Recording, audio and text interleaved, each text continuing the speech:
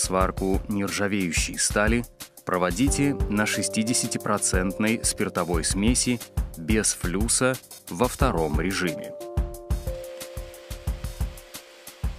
Индикатор тока первого режима рекомендуем установить во второе положение –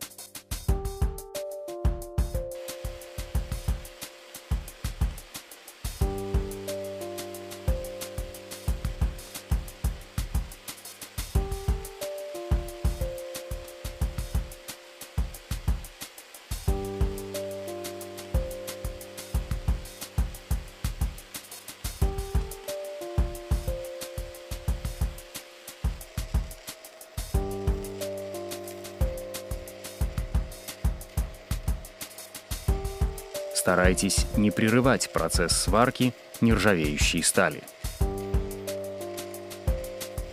Детали нержавеющей стали толщиной менее 2 мм соединяйте методом пайки –